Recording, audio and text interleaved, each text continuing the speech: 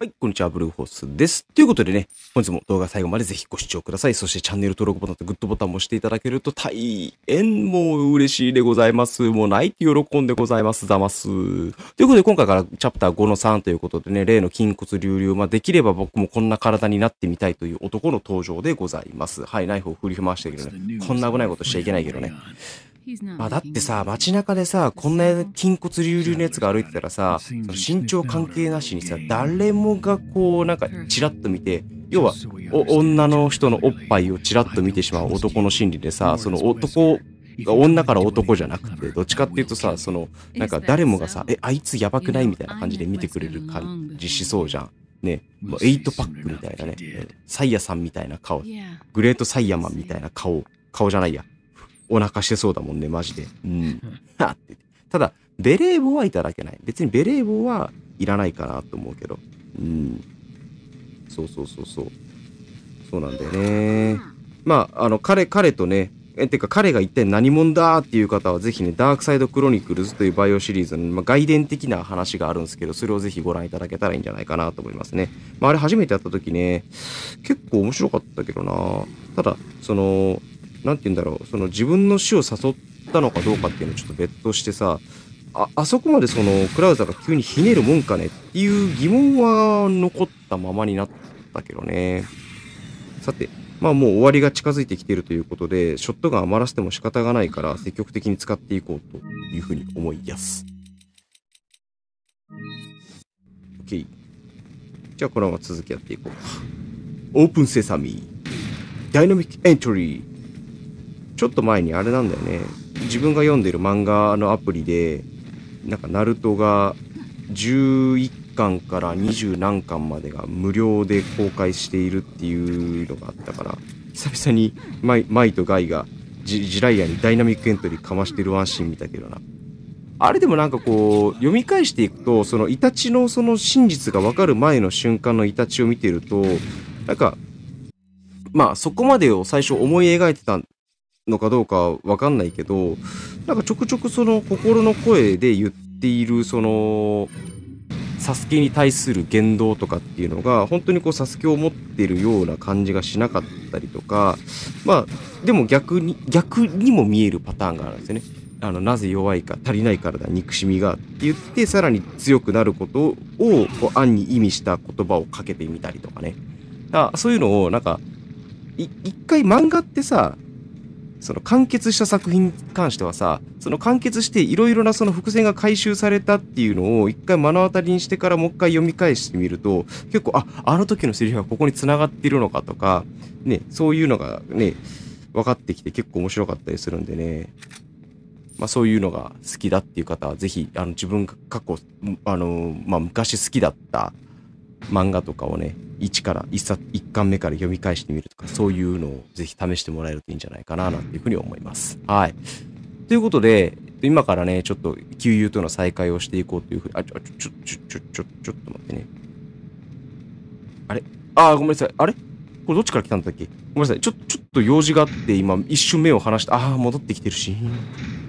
ちょっと目を離した隙にこっちに肉出すもんね。うん、ミスったミスった。やっちまった。恥ずかしい。はい。じゃあ、このまま続きやっていきましょう。まあただ、この後のワンシーンを見ると、まあ、どう考えてもクラウザーが人間じゃないっていうことが、まあ、圧倒的にわかるシーンっていうのがあるんですよね。うん。クラウザーって身長なんぼなんだろうな？185センチの95キロとか、そのくらいかな。でもなんかそれ、その、その身長と体重だったらもうゴリスに近いなっていう感じがするけどね。公式が認めたゴリラ。圧倒的ゴリラ感で言ったらこっちのがある気がするけどな。初見でこのサイズでしょ？ね。あ、そうだ。お、思い出した。あの、あれだ。ほら、クラウザーってさ、このチャプターで最後レオンに殺されるじゃないですか。だけど、その後に実は生きてて、で、エイダにとどめを刺されるみたいなシーンがあるけど、そのエイダとの再会をするシーンの時に、なんか、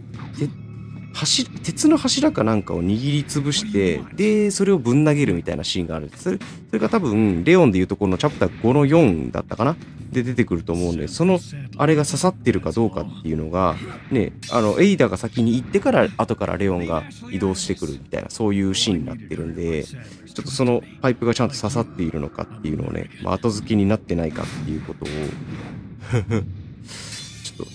いやらしく観察しに行ってみようかなと思います。まあ多分そこまで行くのでは多分あし、あさってしあさって、どうだろうな、3日4日以内にはその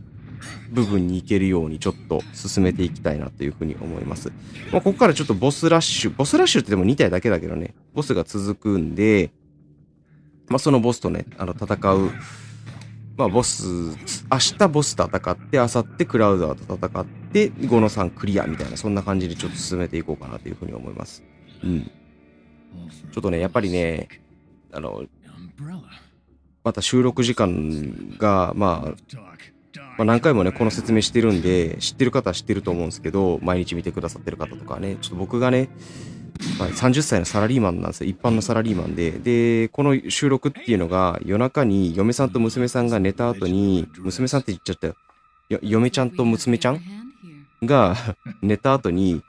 こう夜中一人でしっぽりとね、コーヒーをすすりながら、まあ、コーヒーとかあったかお茶をすすりながらね、あの一人でこんな風にベラベラベラベラ喋りながらゲームをやっているという、そうそういう実況スタイルなんで、あんまりね、一本あたりの動画を長く撮ることができないですよ。なぜかっていうと、長くベラベラ喋りすぎると、嫁さんとか娘さんが起きてしまって、娘ちゃんね、が起きちゃって、うん。でね、あの、そういう眠りの妨げするくらいだったら、もう実況撮るのやめてとかっていう風になっちゃうんで、まあ僕のね、あの、ちょっとした趣味だったり、ストレス発散だったり、楽しみだったりっていうのが詰まっている時間になるんで、まあ、そこを考えると、ちょっと、ぜひね、時間に関しては、あの、ツッコミを入れずに温かい目で、ぜひ見守っていただけると嬉しいかなっていうところですね。さてさて、まあそんなとこ、こんなで気づいたら給油との再開が終わったんで、まあ一旦、このまま先に進んでいきましょう。レーザー光線のところね。これがなんかあれだよね、狩野英孝さんが、なんか、タイミングめっちゃ測っていったにもかかわらず、なんか進む方向がまっすぐじゃなくて急に斜めに向かってって焼き殺されるっていう、なんか謎のワンシーンが描かれたりとか、なんか切り抜けでよく上がってくるんですよね、ここのシーンが。なんで？みたいな。あの人くらいね、こうなんか、あるいい、いい意味でメンタルが強くてさ、で、しかもあの、とぼ、とぼけてっていう感じのキャラだったら、なんかやっぱり、面白い面白くないに関わらず、なんか面白く見えちゃうのと、まあ、タフになるよね。これさ、いつ XC が出てくるかわかんないからってめっちゃ構えてるけど、全部ダブルクリックが出てくる。ダブルクリックってのおかしいな。で、まあご存知の方多いと思うんですけど、これね、最後こう向かってくるやん。それを後ろで待機してたら、これ当たらないっていうね。これでもなんかのデバイスだったら残念ながら食らっちゃうっていう。これ僕今スチームでやってるんやけど、まあ、スチームの場合だったらそれはないと。まあ普通、普通に食ら、食らわないよっていうね。はい。どこをサムネにするかやんな。これもな。ここをサムネにするのもありやけど、やっぱりエイダが出てくるシーンをサムネにして、っていうのもね、まあ、どっちが主人公かって言ったら、やっぱりチャイナドレスね、ビジュアルドレスやからね。うん。こんなことをしている場合ではない。でも確かにマフィアの格好であの膝の組み方してたら、マジでラスボス感漂っている よ。し、じゃあ、えっ、と、今収録時間がどのくらいかわからないんですが、多分まだ10分いってないんじゃないか？